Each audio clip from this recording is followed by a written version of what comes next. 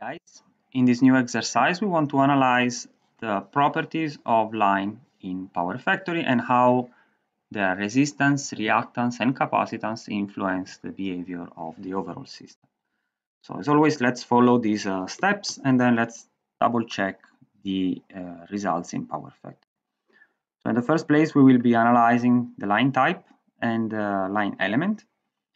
Then we will uh, change the grid configuration according to the configuration that we had for the last exercise, so no station control and reference bus on the generator, and then perform these small uh, changes to the load to see what's going on into the system.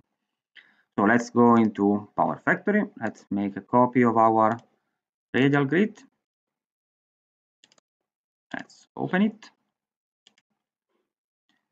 Let's remove the station control so that we can have the voltage set at the generator bus and let's also remove the reference bus so that uh, our reference bus will be on the generator instead of being on the load as before. Let's run the load flow 100 megawatt as before and let's see uh, what's going on in our system. So right now we still have the line as uh, previously set so we are consuming 100 megawatt on the load and uh, the 100 megawatt are supplied by the generator because our line is uh, doesn't have any resistance so it does not lose any active power. But it has a reactance so it is actually consuming some inductive power as you can see from the uh, active and reactive power flow at this node and at the other junction of the line. So let's actually see a bit deeper what do we have uh, in our line element. So in the line element, of course, we have uh, the reference to the type. And then we have other information, uh, which are, for instance, the length of the line, 100 kilometers in this case. And if we have some uh, parallel line, so if it is just a, a single set of uh, wires. The characteristics, so the electrical characteristic of the line can be found, of course, in the type. So we see rated voltage, rated current, frequency, resistance, which of course is equal to zero right now, reactance, the inductive part of the reactance, which is 0.4 um, ohm per kilometer. And you see that uh, the values are split according to positive and negative sequence, so 1 and 2, and the 0 sequence. We will be analyzing just balanced systems, so we don't really care about uh, the value for the zero sequence at this point. So let's just leave them equal to the positive sequence. The capacitive aspect of the grid can be set here under the load flow. And you see that right now the line has uh, no capacitance at all. So let's actually change the line type. Let's go into the library, in the local library and switch to the different type that is already preset. As you can see, the, na the name here is different, so it's not only X, because right now we do have also some capacitive effect, 10 microfarad per kilometer, and we do have also some uh, resistive effect. You can still appreciate how the resistance is uh, low or much lower compared to the uh, inductive reactance, so it's a bit more than one-tenth of the value. Let's keep the other parameters unchanged, so the line is still long 100 kilometers, and let's run the load flow once more. So what's uh, changed in the system right now? Of course, our load is still consuming 100 megawatt because that hasn't changed, but you can see that the generator right now is supplying a little bit more active power because one megawatt is the loss uh, in the line, and is slightly under excited. So you see that instead of supplying reactive power, it's actually consuming a little bit of reactive power. Why is that? We can see that better into the line. So you see that our line right now is uh, generating a couple of megawatt at this point, and it's generating 4.6 megawatt uh, megawatt at uh, the other hand you can also appreciate how the active power value are different because there is the one megawatt consumed by the line. Uh, what it means in terms of reactive power? It means that uh, since our line is below our surge impedance load, our SIL, that means that is showing a capacitive behavior. So the capacitive component is uh, larger, is generating more reactive power because it uh, compensates for the reactive inductive part that is necessary to magnetize the, the line. And the overall generation of reactive power is sufficient to cover the losses from the transformer, which so far I do remind you that the transformer are just characterized by a series reactance, so we don't have any shunt uh, elements in the transformer, both transformer of course. And uh, the there is a little bit more of uh, reactive power that is left into the system, which of course is balanced by the uh, generator. So let's see a little bit better this uh, effect if we actually change to 0 megawatt the active power consumption of our load. Rerun the load flow again and now you see that uh, the line is uh, completely unloaded in terms of active power, but it is actually generating a bit of uh, reactive power, 15 megavar. Uh, so pretty much the line right now it's like a capacitor bank connected at this point. And of course the generator is the one that is compensating for uh, this uh, generation of uh, reactive power from the line. Let's actually get the value equal to the SIL, 136 megawatt. You will see now that uh, the line is almost neutral in terms of reactive power. It means that it's absorbing 4.8 megavar at this point and it's releasing 3.8 megavar on the other end. So right now it's consuming one uh, megavar of reactive power. Why is that not exactly zero? It's not exactly zero because the calculation of the SIL uh, taking account that the line should be lossless, so the resistance should be zero, and the voltages at the two ends should be equal to one per unit. You can actually try to uh, double check that yourself. So if you remove the resistance here, make sure that the line, the voltage at the two ends is equal to one and actually calculate the real value of the SIL, which would be 135.6 megawatt, you will see that the line will become uh, transparent in terms of reactive power. So it will be purely uh, active. Then uh, what else uh, we can say? So let's change now the 400 and uh, the load to 457 megawatt which would be in principle the loading capability of this line. And then this we have to be very careful because this amount of uh, consumption is actually uh, a lot for a line of such a length. And you will see that power factor is not able to converge the load flow. Actually, you can see that if you pump up a little bit the voltage at this end, Power Factory will still be a bit upset because there are a lot of overloading in the system, but uh, you will be able to uh, reach um, you will be able to reach a solution.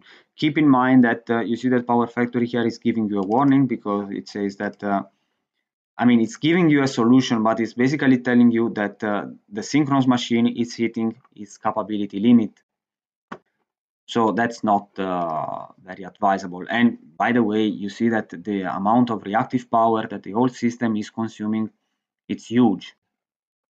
Okay, so you see now that uh, the line is uh, absorbing 293 megawatt releasing 60 megawatt on the other end. That means that it's consuming 233.7 megawatt by itself, and it's of course also consuming a, uh, certain amount of active power, which is the difference between these two values.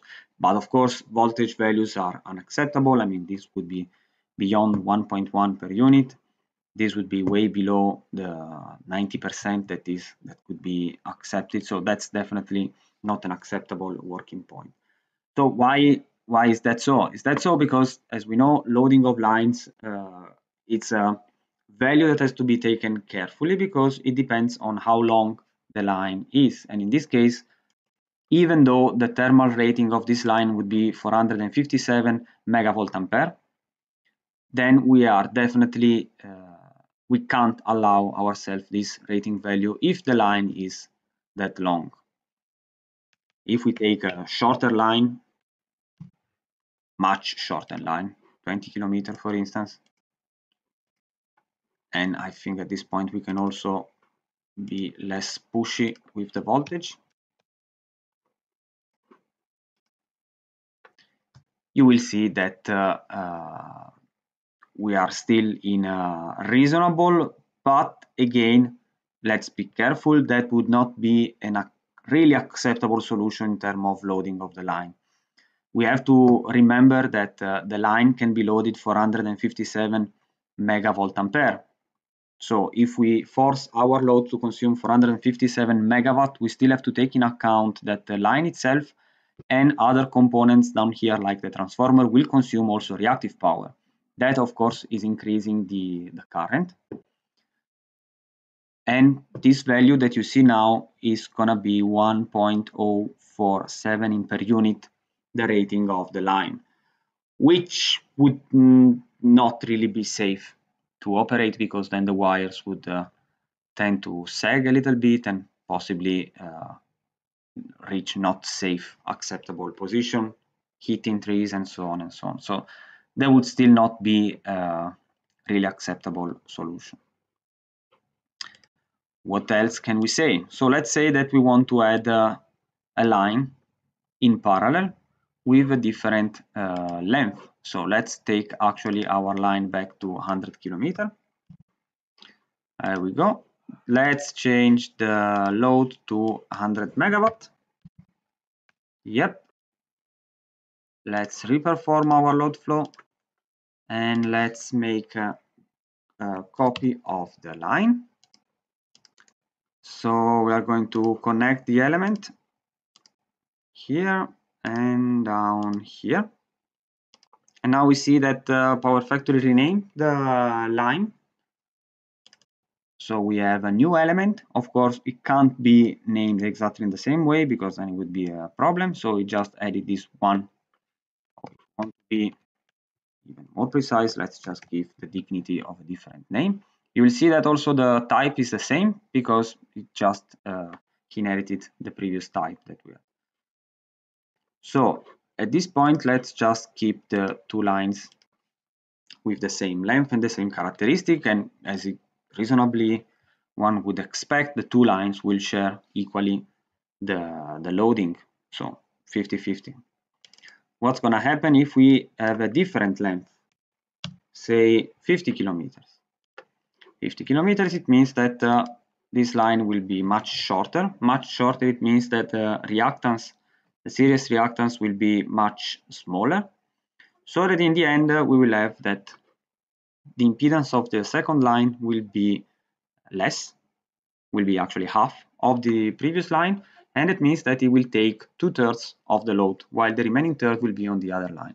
Now this is a bit of extreme situation because it's it will not be common to put in parallel two lines, one that is 100 kilometer, another one that is 50 kilometer, but definitely this happens uh, often, especially when the lines are not uh, that, you may not expect that the length of the line will be the same in uh, when you have parallel lines. Not to such extent, but this can definitely happen. As a last uh, step, let's actually replace the new line and let's uh, let's actually put a cable. So let's take uh, uh this line to 100 kilometer. Let's uh, take uh, a cable that is already preset in Power Factory. And just to let's have a look also at um, properties of the cable. You see that uh, the resistance and actually also the reactance are smaller compared to the overhead line that we had before.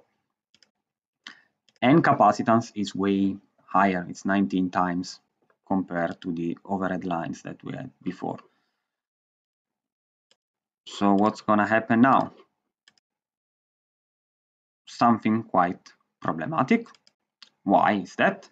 That is because, uh, well, in the first place, we can appreciate that Power Factory is, of course, complaining. So let's see why uh, Power Factory is upset. Is upset because the generator hit again our reactive power limit. but this time the reactive power limit that was uh, hit is actually under on the under excitation side of the curve. So you see that our machine is heavily under excited and that would not be uh, acceptable. You also see that the voltage at this point got way lower. Why is that? Because uh, the generator is trying to absorb the huge amount of reactive power that this cable is generating. So at this point, you see two interesting aspects. So the first one, you see that in terms of active power, even though the two lines have the same length and pretty much the same loading capability, because this one is a 457 MVA line, and this one is a 366 MVA line. So actually, it's a has a low uh, lower loading uh, capability. The cable is taking uh, way more active power compared to the other one. That's because, as we saw in the values, the internal impedance of the cable is lower, way lower, both in terms of uh, resistance because it has a larger amount of copper, but also in terms of uh, reactance. And the other interest, so we end we end pretty much that even though both lines have similar rating and similar length, the cable will definitely uh, take most of the loading. And then we have the other key issue that comes with a high voltage cable is that uh, for such a length, the generation of active of reactive power is uh, large, very large. And you see now that uh, the cable is actually 252 uh, consuming 252 uh, generating 252 megawatt at this end and uh, that would definitely not be uh, desirable so that's why pretty much you would never have had an AC cable at this voltage with such a length you would rather go for an HVDC which would be the case if you have an offshore wind farm and so on. So that pretty much concludes the overview with the uh, lines and cables.